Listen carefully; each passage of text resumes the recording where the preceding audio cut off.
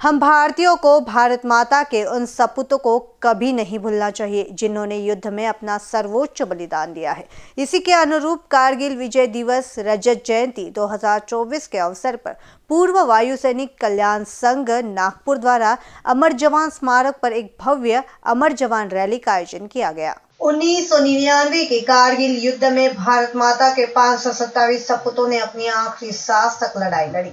और अपना सर्वोच्च बलिदान दिया। उनके प्रति आभार व्यक्त करने के लिए इस रैली का आयोजन किया गया था।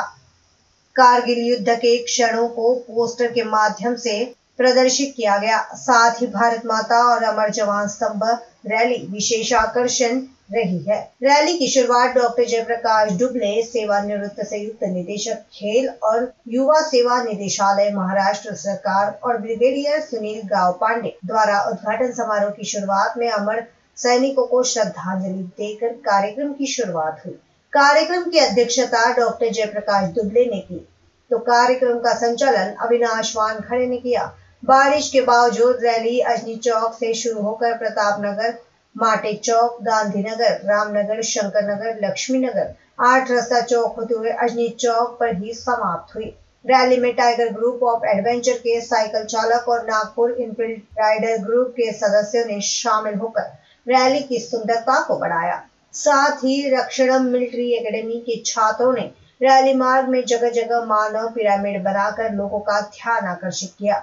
नागपुर के नागरिकों ने चौराहे पर भारत माता की छवि की पूजा कर और अमर सैनिकों को श्रद्धांजलि अर्पित कर रैली में सहभाग लिया। एयर मार्शल शिरीष देव वायुसेना के उप प्रमुख सेवानिवृत्त ने अजनी चौक, नागपुर में रैली के समापन कार्यक्रम की अध्यक्षता की।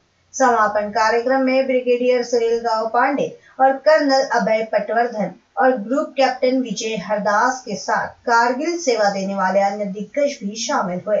कारगिल युद्ध में ईवान से सम्मानित किया गया। अपने अध्यक्षीय भाषण में एयर मार्शल श्रीज देव ने कारगिल युद्ध के अपने अनुभव के बारे में विस्तार से बताया। कार्यक्रम का संचालन अजय गाड़वे, सचिव ईवान ने किया और स्वागत भाषण लक्ष्मीकांत नंदूनकर अध्यक्ष ईवान ने दिया। कार्यक्रम में ईवीएएन के सभी पदाधिकारी एवं सदस्य, ईवीएएन महिला शाखा के सदस्य एवं नागपुर वेटन एसोसिएशन के पदाधिकारी क्षेत्र के नागरिक माउंट कार्मेल स्कूल की प्रधान प्राध्यापिका एवं शिक्षक बड़ी संख्या में उपस्थित थे। परीक्षित कुलकर्णी ने धन्यवाद ज्ञापन और राष्ट्रगान के बाद कार्यक्रम संपन्न हुआ। कैमरा पर्सन राजकुमार मोहन के साथ मनीष टेमरे बीसीएन न्यूज़ नागपुर।